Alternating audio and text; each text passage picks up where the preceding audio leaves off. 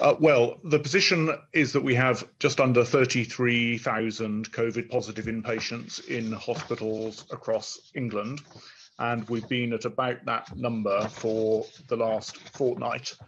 Uh, as a reminder, that's obviously a very sharp acceleration since Christmas. Uh, we had around 18,000 positive coronavirus patients in hospital at Christmas time.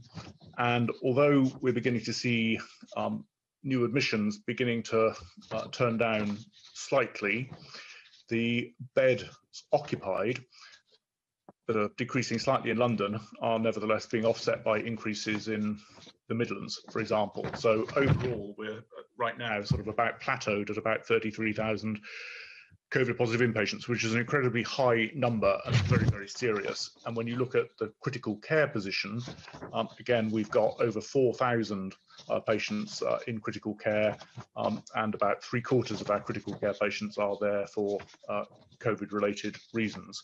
You do see the differential impact of a high coronavirus um, number of patients in particular parts of the country.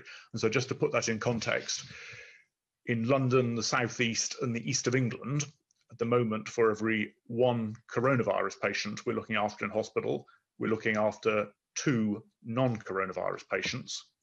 Whereas in the northeast and Yorkshire, the southwest regions where coronavirus has been more under control, that instead is a ratio of more like one coronavirus patient to three non coronavirus patients or four non coronavirus patients. So, the single biggest thing we can do to make sure that the full range of services can continue to be provided is to get the infection rate down and hence the COVID hospitalizations.